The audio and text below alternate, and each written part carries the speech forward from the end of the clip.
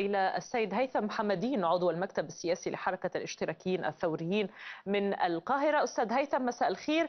نود أن نسأل كيف تنظر الحركات السياسية أو ما تبقى منها في مصر إلى الأحكام الصادرة سواء بحق الأولتراس أو بحق 6 أبريل وغيرها من الحركات السياسية؟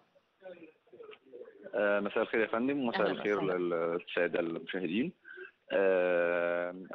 في موضوع وضع الحركات السياسية وأعضائها على القوائم الإرهابية خلينا بس نركز على كذا نقطة. النقطة الأولانية أنه صدر قرارات من السلطة التنفيذية باعتبارها سلطة تنفيذية بتصنيف ووضع عدد من الأفراد أو الكيانات في خانة الإرهاب.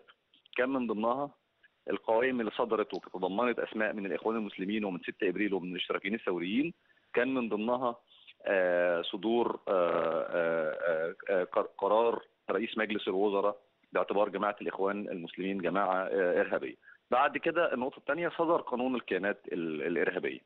فبمعنى ما أنه القرار متخذ مسبقا من السلطة السياسية من السلطة التنفيذية بعيدا عن أي شكل قانوني بعيدا عن أي شكل دستوري وبالتالي هو قرار سياسي بامتياز لا علاقة له بالقانون أو تحقيق العدالة.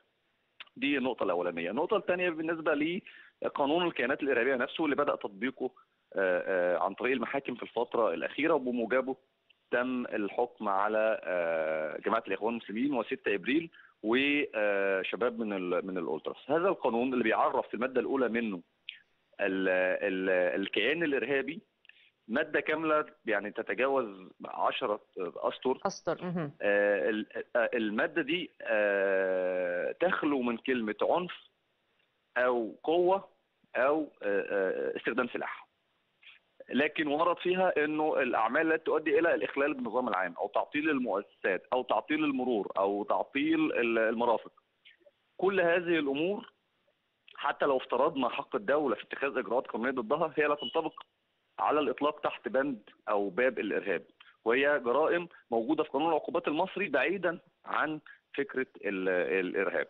لكن هو المقصود إنه قمع الحركة الاحتجاجية اللي موجودة في الشارع تحت غطاء ما يسمى بالحرب على الإرهاب. وهي حرب على ثورة يناير ولكن هم عايزين يدوها المشروعية بفكرة الحرب على الإرهاب وحماية وصيانة الدولة وكذا.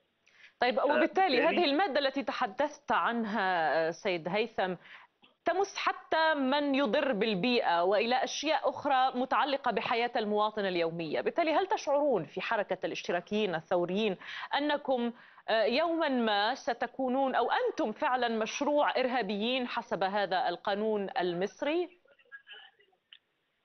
هي طبعا المادة بتخاطب أو يعني بتنطبق على كل المواطنين المصريين اللي هيعلوا لهم صوت لمعارضة في مواجهة هذه السلطة ابتداء من العمال والحركة الاجتماعية الحركات الشبابية والثورية الحركة الطلابية كل الفئات كل اللي هيحتاج على السلطة السياسية اللي موجودة حاليا هيوضع في خانة الإرهاب. السلطة عايزة مواطنين اللي بيسميهم مواطنين الشرفاء اللي بيطبلوا ويزمروا للسلطة. النقطة الثانية إحنا بالفعل صدر ضدنا قرار بوضعنا على قوائم الإرهاب. عدد من الاثنين من الاشتراكيين الثوريين واثنين من 6 إبريل قبل قبل صدور أحكام من القضاء وقبل صدور قانون الكيانات الإرهابية. فإحنا بنعارض هذا القانون وبنعارض كل ما يصدر عنه من من قرارات. سواء كانت قرارات إدارية أو قضائية.